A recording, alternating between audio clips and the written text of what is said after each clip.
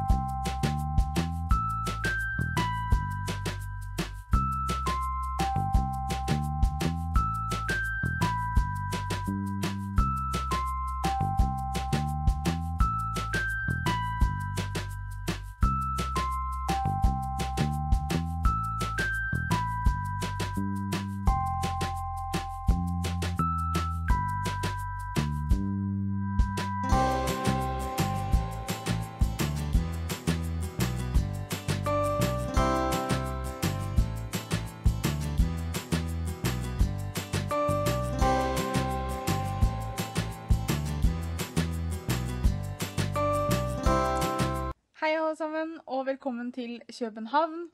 Eh, jeg, det er dag én, altså fredag. Eh, vi er nå klare til å gå ut og spise. Eh, vi har hatt en kjempefin dag. Jeg har filma litt. Grann. Som dere vet, så er det her en egen video hvor jeg bare viser dere litt fra København-turen min. fordi at det her er kjærestetur, og jeg skal ikke bruke all tiden på å filme og ordne og sånn. Men jeg vil vise dere litt, da. For dere er jo så nysgjerrig. Og jeg vil jo gjerne vise det fram òg. Um, så akkurat nå så har jeg en veldig kjekk kjæreste som flyr rundt her og ser veldig fin ut. Um, så nå skal vi ut og spise på restaurant. Uh, vi skal spise på restauranten til Brødrene Prise, eller hva de heter for noe. Um, så vi skal ta en drosje dit, og så skal vi heller gå hjem. For det fant vi ut at det var lurt, for vi vet ikke hvor det er hen.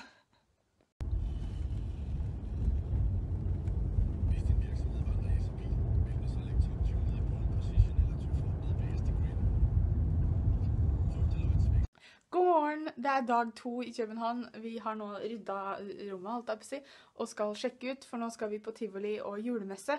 Um, men jeg tenkte jeg skulle vise dere hotellrommet. Jeg fikk ikke filma det i går, for det var dritmørkt her.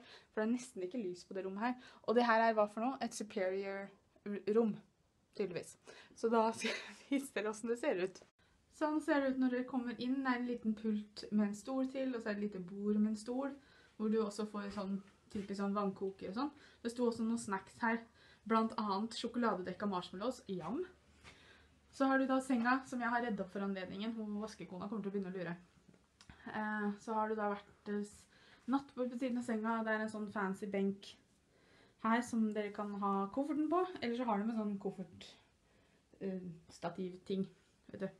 Som alle skjønte hva jeg mente. Og så inn her har du da badet. Veldig greit. Sånn ja, doen er fin. Eh, med en sånn dusjkabinett som vi har hjemme. Eh, som egentlig var ganske lite, pluss at trykket i dusjen var ræva, for å si det sånn. Eh, men, men, det bør jo ikke ha noe å si på resten av hotellet. En annen morsom ting med det hotellet her er jo at eh, du har strippebule på hver, din, hver sin side. Så hvis du syns det mangler det, så nei da. Du har eh, to. En på forsida og en på baksida. Så da er du dekka med det, i hvert fall. Ingen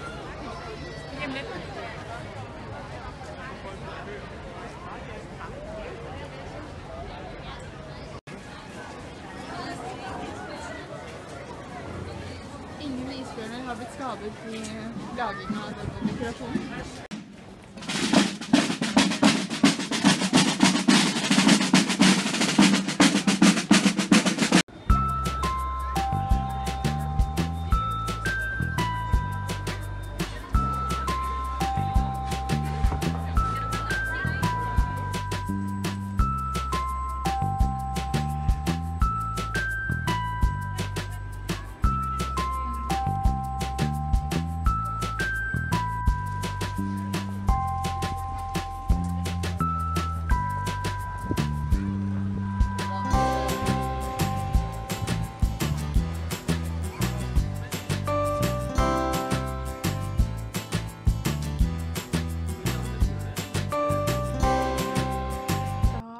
Er kommet på båten.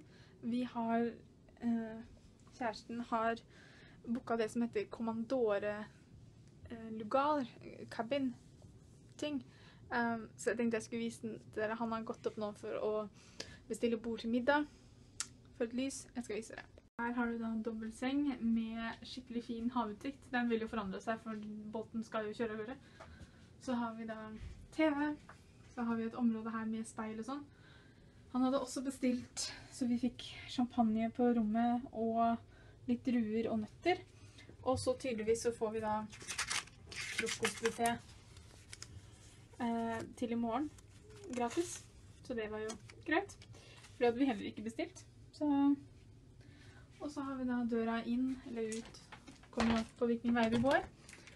Og så er det da et sånt lite bad. Med Her får man også til og med med hårprodukter og sånn. Det pleier man ikke å få i sånne lugarer. Ikke så vidt jeg vet i hvert fall. Hello. Det eneste som er så dumt på sånne steder, er at dusjene er så små. Men, men. Det går.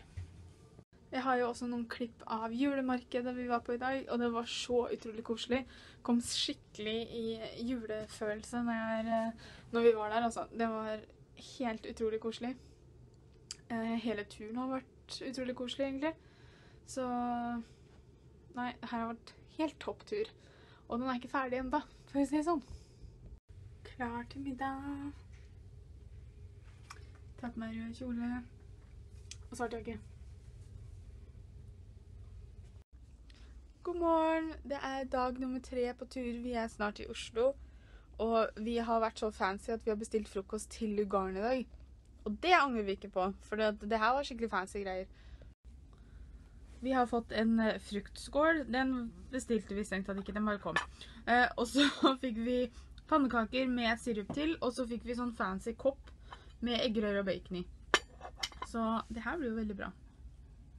Tenkte jeg skulle avslutte, eller som avslutning vise dere hva jeg kjøpte i Danmark. Fordi det, var, er ikke nok til en, eh, til en innkjøpsvideo. Eh, Jeg kjøpte en glutenfri pizzabånd medblanding, fordi vi, jo være, vi er jo eh, glutenfrie denne uka her. Så kjøpte jeg det. Så, kjøp... Hei så kjøpte jeg også en glutenfri lyst brød-melblanding, fordi det kan være godt å ha til frokost. Jeg kjøpte noe som heter kakaonibs, som kan brukes oppå granola eller i baking og sånn. og Det er et høyt fiberinnhold i den her. Så tenkte jeg ja, ja. Vi slenger den med. Så kjøpte jeg en white uh, chocolate protein Tja, milkshake, kanskje? Så Pure egg whites. Uh, ja, ja. Eh, det blir spennende. Og helt til slutt, og det er da ferdig eh, croissantdeig på rull. Og det har jeg sett i så mange amerikanske bakevideoer at jeg kjøpte den egentlig mest på grunn av det. For det er sånn at du bare vrir den opp, og så har du deigen ferdig inni her. Gøy. Så da avslutter jeg København-vloggen nå og sier tusen takk for at dere ble med til København. Og så må jeg jo si tusen takk til kjæresten min for en fantastisk fin tur. Vi har kost oss masse. Og gleder meg bare til å sette meg ned og tenke over alle minnene som vi har fått og sånne ting nå.